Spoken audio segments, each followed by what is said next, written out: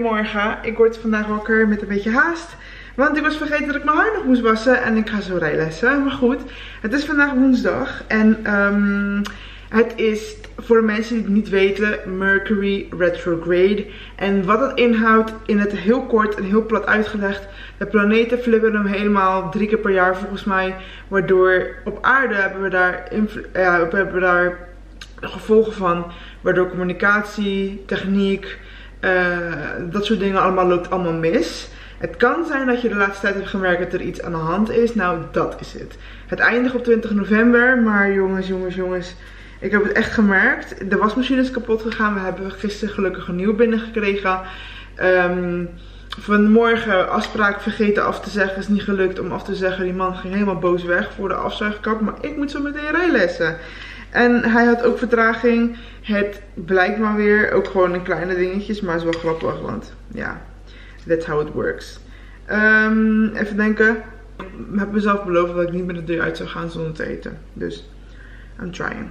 Dit is uh, top. nou, ik denk dat ik naar huis ga. Dag Lies. ik ben serieus. Beter ben ik het geluk.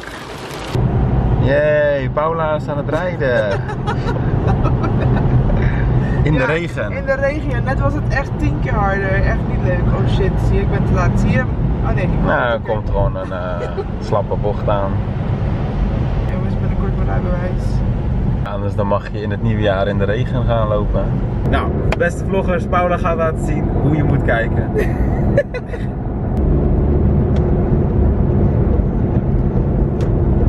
Oké okay, ik ben weer thuis.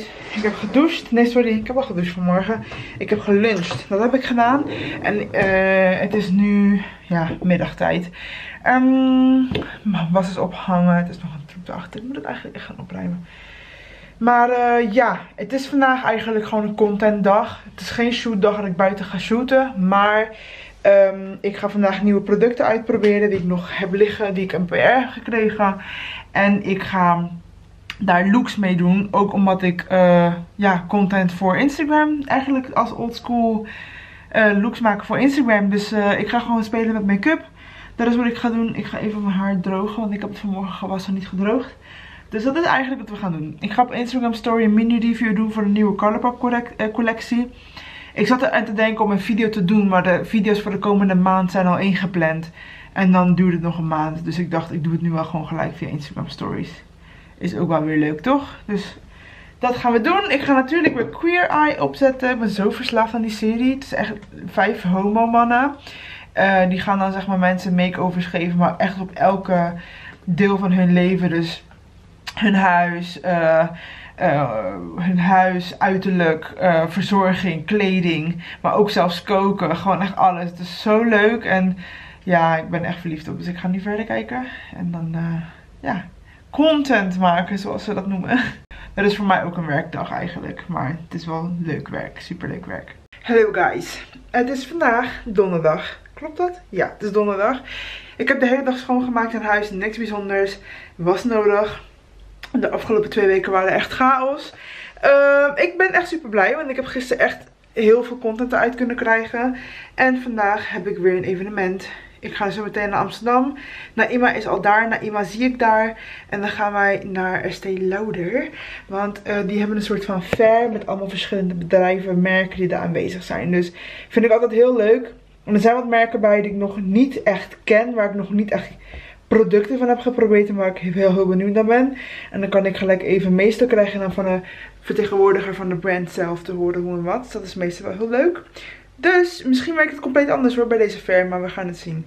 Ik heb een zonnebank nodig. Dit is niet oké.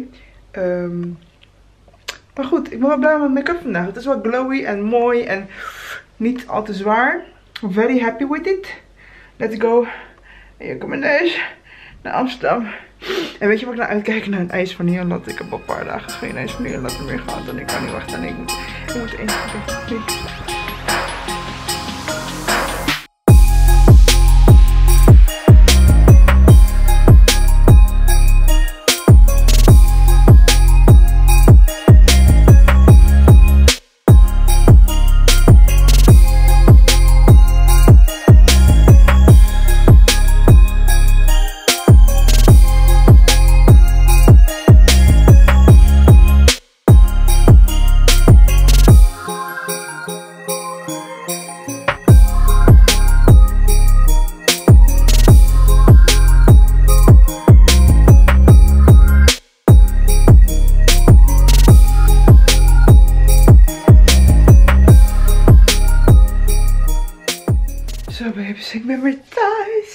was een heel gezellig event. We gaan mijn make-up afhalen. Het is niet zo heel erg laat.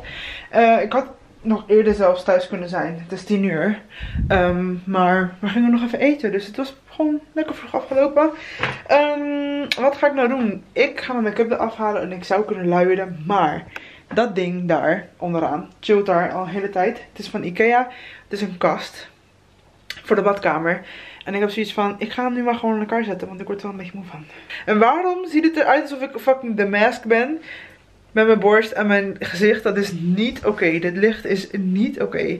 Promise you, ik ben gewoon goed gematcht. What the fuck? Oké, okay, grapje. Ik heb mijn dus de was opgehangen. En ik wil het echt in elkaar gaan zetten. Maar ik heb geen zin. Dus ik ga het ook niet doen. Hallo guys. Het is vandaag, wat is het vandaag? Zaterdag. En nee, vrijdag. Het is vrijdag. En um, ik ga zo de deur uit. Ik heb vanmorgen gewoon allemaal mails beantwoord. En werk ingeleverd wat ik moest inleveren. En nu gaan wij lezen. Um, we gaan naar de lezenbar als je nieuw bent. Ik ben ook trouwens een tijdje niet geweest. Want elke keer met het maken van een afspraak ging het mis vanuit mijn kant. Uh, dus ik uh, ga nu ga ik er naartoe, eindelijk. Ik ga mijn armen laseren en ik ga mijn bikini lijn laseren. En ik dacht vroeger, bikini lijn is letterlijk alleen de zijkanten. Maar dat is gewoon alles. Dus um, ja, we gaan naar uh, bikini lijn. Ja, we gaan niet naar bikini lijn. We gaan naar Cuba, naar de laserbar. Ik kom daar al zeker drie jaar denk ik nu. Ja, drie jaar. En mijn armen benen zijn echt haarvrij. Daar ben ik super blij mee.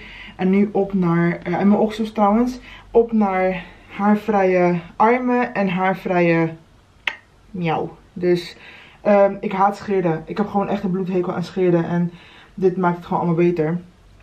Uh, ik weet, altijd als ik ga lezen krijg ik de vraag, werkt het? Ja, het werkt. Het is oprecht zo'n goede. Na de eerste keer lezen had ik al kale plekken en dunner haar. Dus ik ben er echt super blij mee. Um, even, ik doe altijd een korte mini Q&A, want ik krijg altijd super veel vragen als ik ga lezen.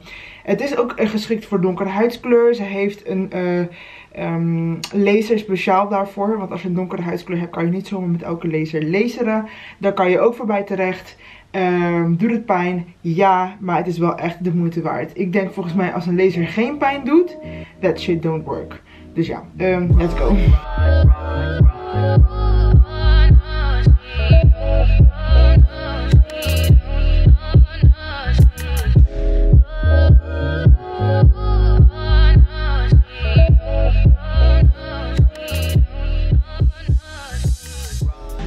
Mijn zusje jongens. Ik heb net gegeten, maar we gaan ze meteen weer eten. It's tortilla time! Tortilla time! Lekker! Ja. Dankjewel. Kom je ook liggen? Twee slokjes. Ja!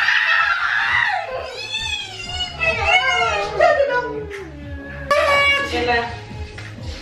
Hier valt mama aan. Kom, zitten daar, kom. Wat vinger weg. Bella, haal die op hem af. Bella, haal die op hem af. Nee. Goedenavond. We zijn bij Daisy. Hi Daisy. Hi Daisy. Oh, meisje. Ja. Hi, kijk ze is. Mijn zusje heeft echt de liefste hond op aarde. Ja joh, wil je dood of zo? elke keer deze zebrapad. Dit zebrapad. Kijk, kijk, kijk. Zie je dat? Hij rijdt echt als een drugsdealertje van 19 jaar oud. Ik zweer het. Zo, zo rijdt ze. Wie is dat? Wie is dat? Wie is het? Wie is het? Wie is. Wie is het? Nee, niet naar. Niet naar buiten springen, Daisy. Doe. Goedemiddag, het is zaterdag. Dan zit je nou mijn appjes te lezen. Oh, nee, appje- Waarom lees je mijn appjes? Ik zag je mama en dan ben ik nieuwsgierig naar wat mijn schoonmoeder te zeggen heeft. Oké. In ieder geval, het is een hele bewegelijke ochtend geweest. Wat ben je nou met die riem aan het doen? Ik ga je slaan. Je gaat me helemaal... Zeg het nou niet, want mensen denken echt dat je me slaat. Fuck off. Mensen moeten YouTube niet zo serieus nemen. Oké, in ieder geval. eh, bewegelijke ochtend, veel opgeruimd. Dit. man. Ik ben net wakker. Wat lul jij?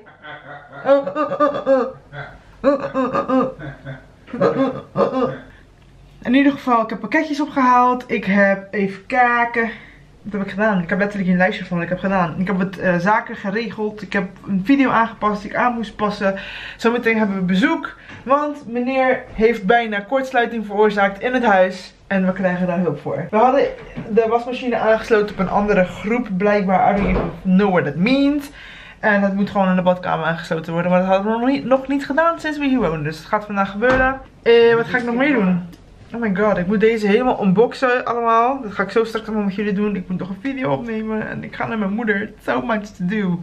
Maar dat komt wel goed. Hi guys, het is alweer zondag. En ik heb de hele vlog geëdit. Ik wilde even afwachten hoe ik me voelde. Of ik er iets van ging zeggen. Tot het laatste van de vlog. Het is ook wel niet zo serieus. Maar ik wilde er wel even over praten. Want het bewijst maar weer hoeveel mensen... De waarde die mensen hechten aan bepaalde dingen op social media. Vorige week heb ik een comment gekregen op mijn eh, video. Dat ik eh, er onverzorgd uitzie. En dat ik. Het kwam erop neer dat ik er niet uitzie in mijn vlogs.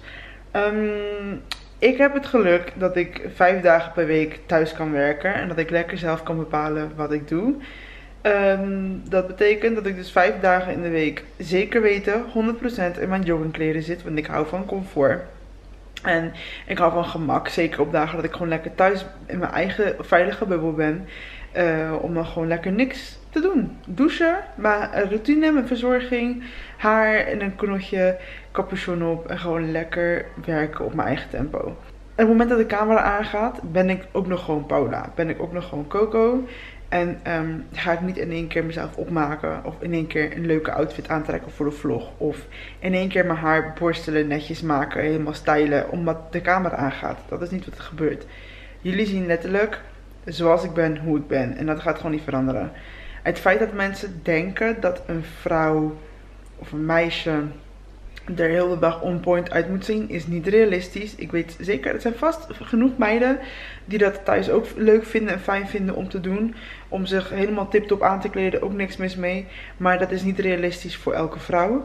Ik vind het gewoon lekker om in mijn joggingkleren te zitten, in mijn veilige bubbel. En op het moment dat ik de deur uitga, hou ik ook van, van comfort. En dan beslis ik wel of ik, hoe ik eruit zie. Dat is niet aan andere mensen. Zo, ik wilde gewoon even laten weten.